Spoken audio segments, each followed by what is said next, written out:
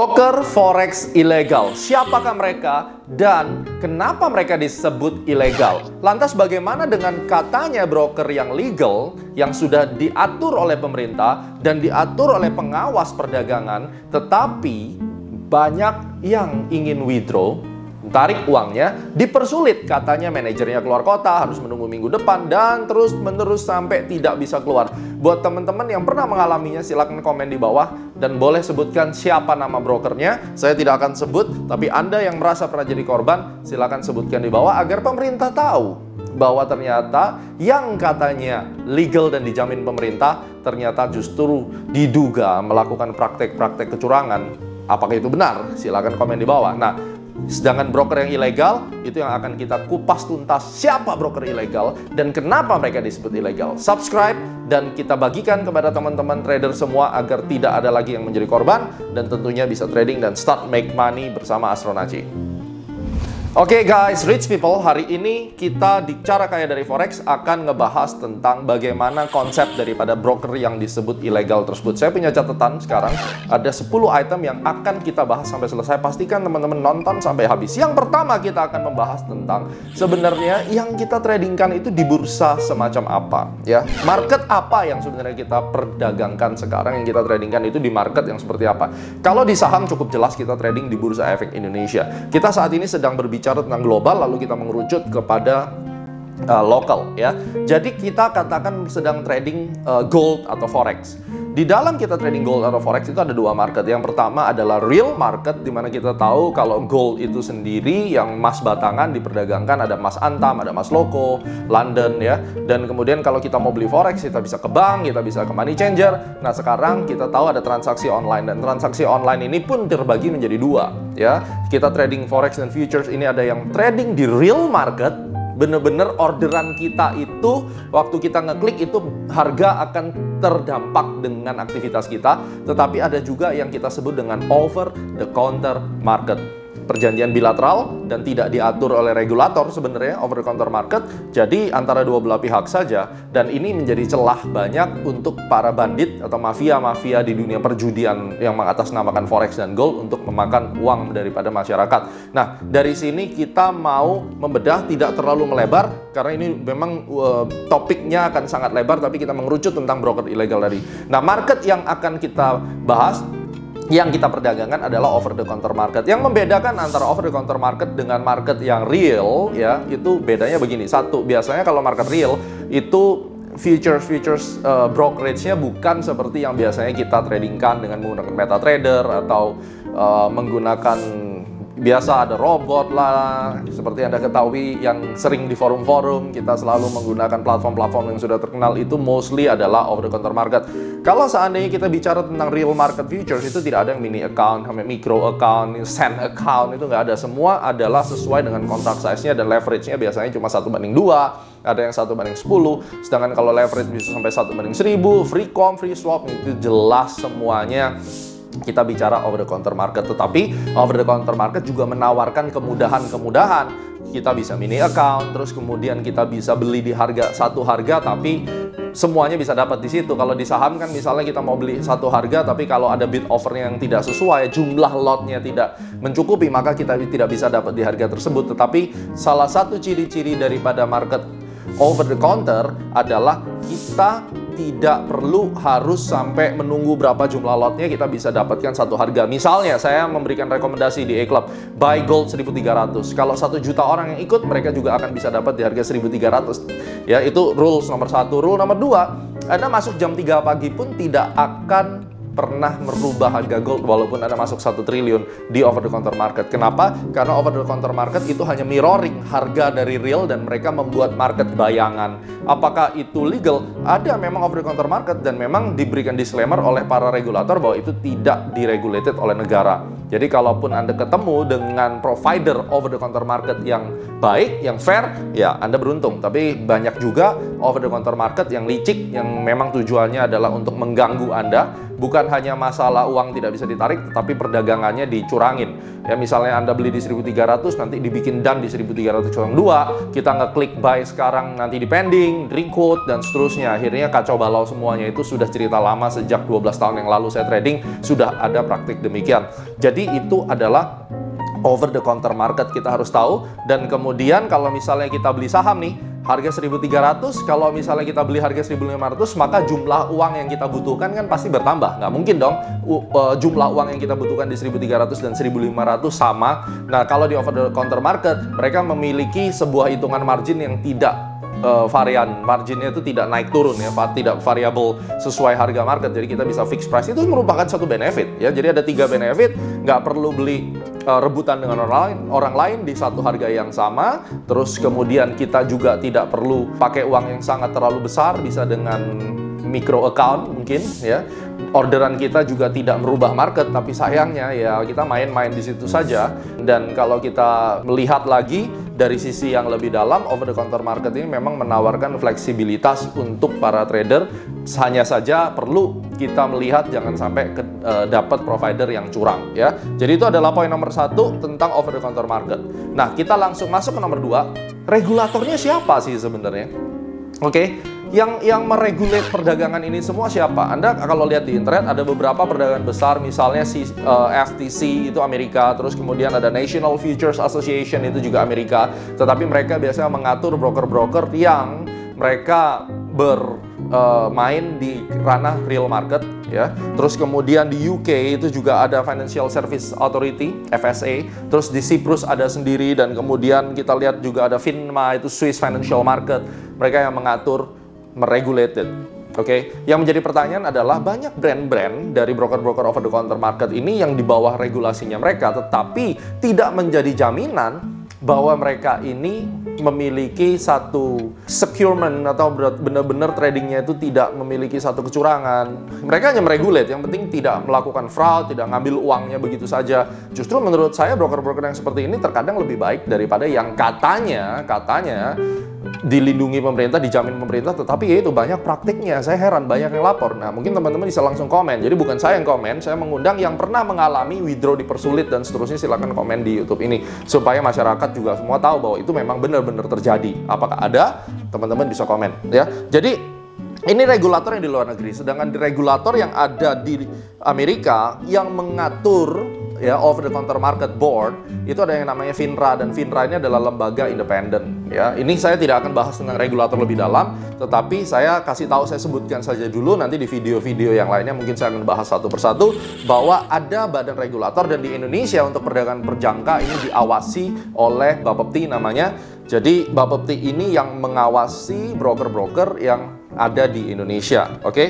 Dan kalau kita bicara tentang marketnya di Indonesia sekarang ada bursa berjangka dan kemudian ada ICDX ya Indonesia Commodity Stock Exchange. Jadi ada dua bursa di mana dua bursa ini dia memiliki over the counter menjadi sistem perdagangan alternatif ya. Jadi artinya over the counter itu bahasa Indonesia sistem perdagangan alternatif. Mereka menyelenggarakan bursa tersebut. Jadi bursa itu menyelenggarakan perdagangannya dan ada member-membernya pedagang dan broker pedagang itu yang kita sebut dengan liquidity provider versi Indonesia. Dan kemudian ada broker-broker yang terdaftar di bursa tersebut. Kalau saham ada Bursa Efek Indonesia. Nah, kalau di bursa berjangkau maupun di um, ICDX mereka untuk beberapa trading Anda boleh komen di bawah juga pernah nggak ada trading di situ? Apakah mereka connect ke real market? Anda yang jawab sendiri ya. Anda harus cari tahu Anda research. Yang saya lihat ada beberapa teman-teman yang dari saham pindah ke bursa berjangka mereka agak kaget. Kok beda ya mas saham? Kalau saya masuk kok bisa merubah harga saham Astra? Kok bisa merubah harga Unilever? Tapi kalau saya masuk di ICDX di bursa uh, berjangka waktu saya masuk di gold market XAUUSD kenapa dia tidak merubah harga yang ada di pasar Amerika atau pasar dunia yang kita lihat di CNBC ini ya? Itu PR Anda Anda tentukan jawabannya Anda cari tahu Anda research dan komen below oke? okay? Dan sekarang kita tanya pada saat kita berbicara tentang broker ilegal oke okay? broker ilegal ini poin yang nomor 4 kenapa sih disebut broker ilegal pada saat kita trading nih misalnya saya membuka account di broker luar pertanyaannya adalah broker luar itu apakah ilegal Kok bisa ilegal? Dia kan diatur oleh regulator asing, ya. Misalnya nih, dia diatur oleh NFA, National Futures Association. Kok bisa-bisanya dikatakan ilegal? Nah, menjadi pertanyaan kan, kalau ilegal ya dia nggak diatur siapa pun, dia melakukan kecurangan, dia berbahaya, tapi nyatanya dia punya izin kok. Nah, contoh saja, misal, hari ini saya akan buka account di Bank of Singapore. Buka account untuk saving. Tidak ada larangan. Anda sebagai warga negara Indonesia boleh bikin account bank di mana pun di seluruh pelosok dunia ini. Nggak ada masalah. Tapi, bank tersebut akan disebut ilegal apabila dia buka kantor cabang misalnya di Indonesia, melakukan transaksi di Indonesia misalnya tanpa izin OJK akan disebut ilegal. Tetapi bukan berarti broker tersebut atau bank tersebut ilegal. Nah, katakan kita bicara tentang broker yang berasal dari New Zealand, broker yang berasal dari Saint Vincent, yang berasal dari Cyprus, dari mana pun. Lalu tiba-tiba ada berita bahwa mereka ilegal, mari kita blok websitenya. Tidak bisa lagi menggunakan website, itu adalah broker ilegal. Anda harus trading di broker yang sudah resmi mendapat approval dari Bapepti. Wait a minute, hello, Bapepti, anda harus menjelaskan dengan clear kepada masyarakat bahwa memang semua broker asing yang tidak memiliki izin Bapepti itu ilegal versi Indonesia. Ilegal beroperasi di Indonesia, tetapi mereka bukan ilegal. Mereka adalah broker legal yang ada di luar dan warga negara Indonesia memiliki hak untuk buka akun di mana saja. Anda tidak bisa berkata bahwa kalau saya trading di broker ABC, saya trading di broker yang ada di Cyprus, ada di England, ya, bahwa itu adalah ilegal. No, dan Anda tidak bisa mengatakan bahwa harus kita blok semuanya, nanti masyarakat kita mengalami ditipu. Pertanyaannya adalah apakah Anda sudah benar-benar melakukan research? Ada nggak broker yang sudah katanya legal di Indonesia, tapi justru malah mempersulit orang melakukan withdraw? Bagaimana dengan ini? Teman-teman yang ada di DPR, pada saat Anda mendengar ini, Anda bisa melakukan investigasi untuk meluruskan opini publik yang mungkin menurut saya sekarang diduga sudah keluar daripada kebenaran. Jadi ingat, kalau dikatakan broker tersebut ilegal, jangan langsung ditelan. Oke, memang broker itu ilegal, mari kita bully rame-rame. Itu bodoh, guys. That's very very stupid. Kenapa? Broker tersebut legal di negara Singapura, bank tersebut legal di negara Singapura. Misalnya, saya per hari ini adalah nasabah Bank of America. Lantas, karena Bank of America tidak ada di Indonesia, apakah Anda memaksa, "Hey, Bank of America, buka dong kantor di Indonesia supaya kamu tidak disebut ilegal?" Are you crazy? Indonesia sebesar apa dibandingkan mereka?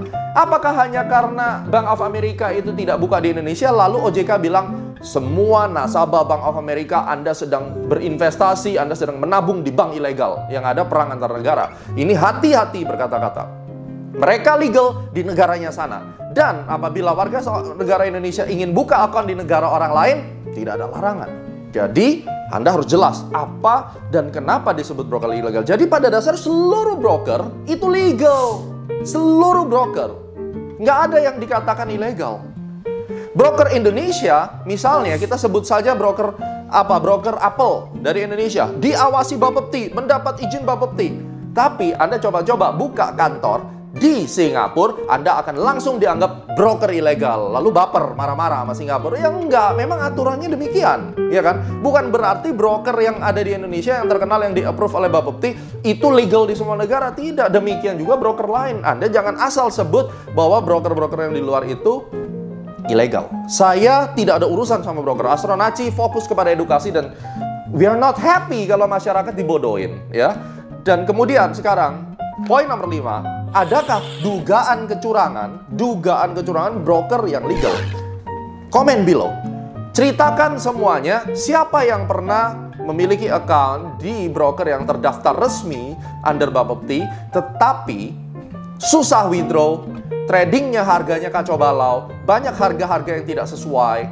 Nah, mungkin dengan ini bisa menjadi agenda buat Bapepti untuk menertibkan ya para broker yang katanya legal, katanya uh, tapi banyak uang masyarakat yang nggak bisa ditarik. Hello, let's fix this. Oke, okay? Legal, illegal. Jangan bermain di kata itu. Tapi apabila Anda memang mau mengkampanyekan broker legal, bereskan sistem perdagangan alternatif yang ada di Indonesia menjadi fair, transparan, dan tidak lagi bermain-main dengan dugaan kecurangan termasuk mengambil uang yang ada tidak bisa ditarik. Dan try it. Banyak teman-teman saya bilang percuma lah mau dilaporin ke polisi, mau dilaporin ke Bapepti, panjang prosesnya. Katanya, saya nggak tahu for sure. Kalau teman-teman tahu dugaan seperti itu, silakan komen di bawah. Benar atau tidak, biarkan thread ini menjadi puluhan ribu diskusi dan menjadi sarana untuk pengaduan kepada pemerintah apabila ada yang terjadi seperti itu. Nah, nomor 6. Bagaimana caranya memilih broker? Real market atau OTC? Kalau saya pribadi, saya akan pilih OTC. It's fine. Walaupun, walaupun katanya dibandarin, nggak masalah. Yang penting saya ketemu bandar yang fair daripada broker yang katanya legal, tapi nyolong di belakang. Saya nggak tahu. Saya nggak mau pilih itu. Mendingan saya pilih over the counter market. Dan ingat ada benefit-benefitnya. Yang pertama adalah, ingat tadi benefitnya, Anda tidak perlu rebutan, Anda tidak perlu margin requirement yang berubah-ubah, ya. Dan memang harganya tidak akan merubah harga pasar, mereka cara kerjanya mengambil data daripada real market dan mereka meng-create market sendiri itu yang disebut dengan over the counter market oke? Okay? it's fine it's totally fine. Hanya anda harus memilih uh, broker yang fair. Nah saya juga ada membuat video ciri-ciri broker curang. Anda bisa lihat nih videonya kalian bisa langsung lihat di YouTube Anda bisa lihat ada link di atas kalian bisa klik atau link di deskripsi silakan klik untuk mengetahui ciri-ciri broker OTC yang nakal seperti apa sehingga Anda bisa hindari ya.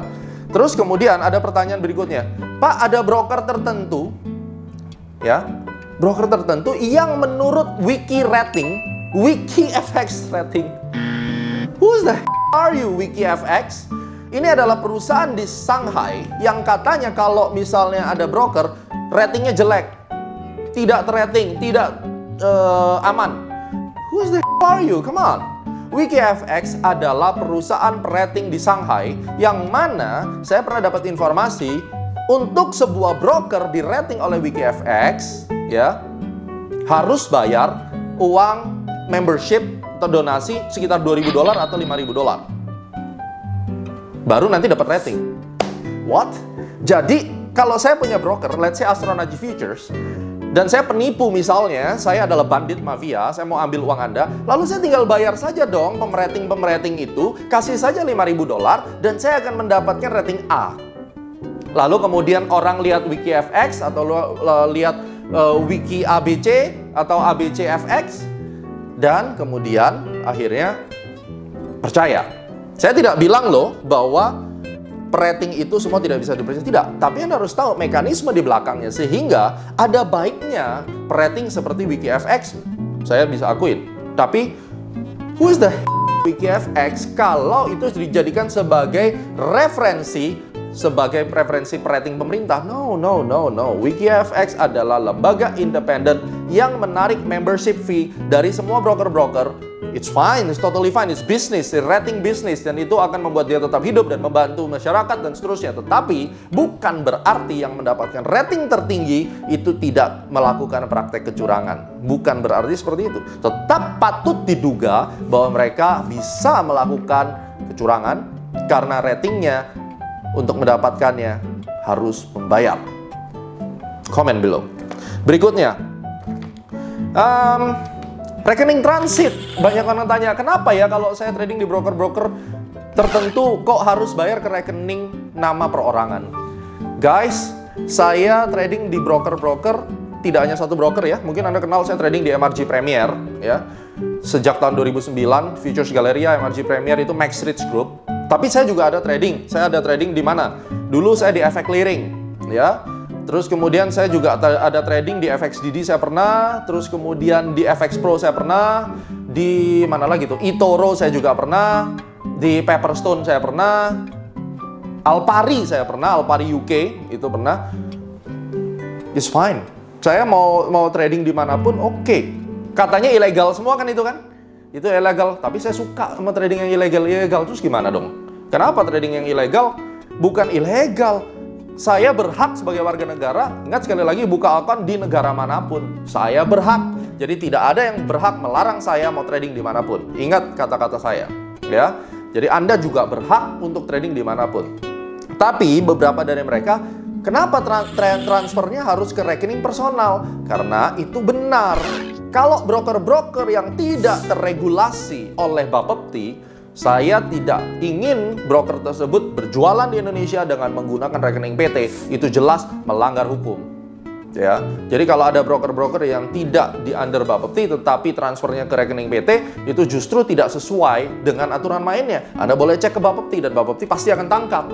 Tapi kalau rekeningnya ke transit, ke rekening personal, ya that's the only way untuk membuat terjadinya transaksi atau mi misalnya langsung direct kartu kredit aja nggak apa-apa ya it's okay bisa langsung kartu kredit tapi kalau mau yang bank lokal dan seterusnya rekening transit justru harus menggunakan nama perseorangan Pak apakah tidak takut uangnya dibawa lari zaman sekarang over the counter market nggak ada uang yang dibawa lari justru yang broker-broker ilegal ini nggak pernah bawa uang lari anda nggak dibawa lari aja uangnya loss sendiri. Hitungan tiga hari seminggu habis uangnya.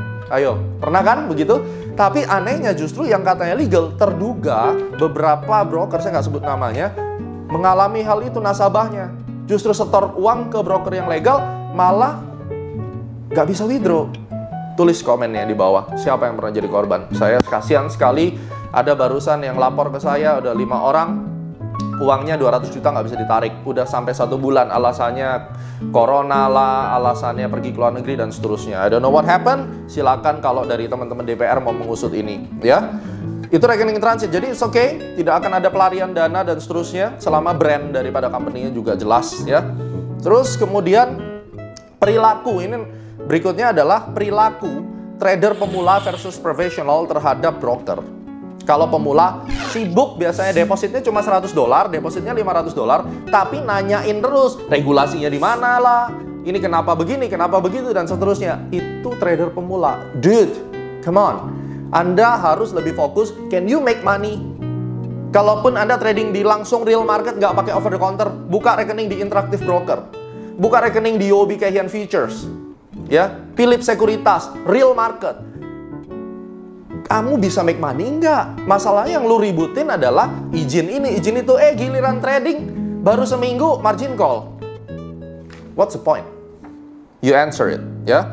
Kemudian kalau kita berkata bahwa Pak Gema itu tradingnya di broker yang dia di endorse, ada tuh haters yang ngomong gitu. Malah gue dibilang kayak anak-anak Olim Trade, kayak Bro Alan Suryajana itu temen gue. Ya masa Bro Alan dikata-katain mamerin glamor hidup mewah dan seterusnya itu kalau Bro Alan tahu BT juga dia. Ntar ntar kita tag Bro Alan Suryajana ya. Ada hatersnya Astronaci datang terus ngata-ngatain bahwa Gema itu sama kayak Alan Suryajana hidupnya uh, di endorse broker di menunjukkan miliarder life.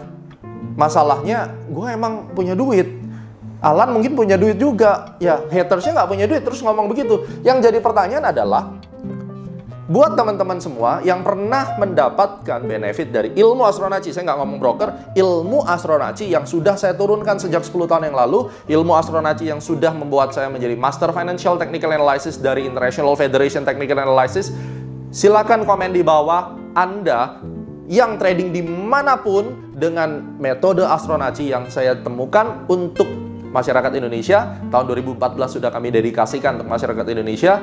Tulis di bawah, apakah Anda sudah merasakan trading lebih enak, trading lebih santai, trading lebih baik, dan tentunya withdraw lebih sering. Kalau itu sudah terjadi, maka haters terjawab melalui Anda.